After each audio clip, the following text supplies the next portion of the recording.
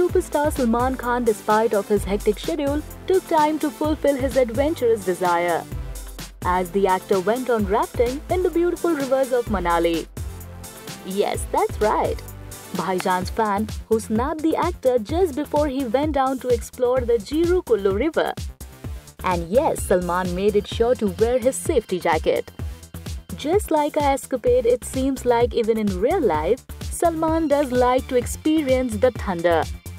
The tube-light actor took his paddles by storm and is certainly having a gala time shooting for his next flick in the beautiful cities of Manali. So after completing their schedule, the Tubelight team will head towards the Kashmir valleys to shoot for their film. Well, we are sure after watching the Sultan actor's adventurous rafting, his fans are likely to be delighted.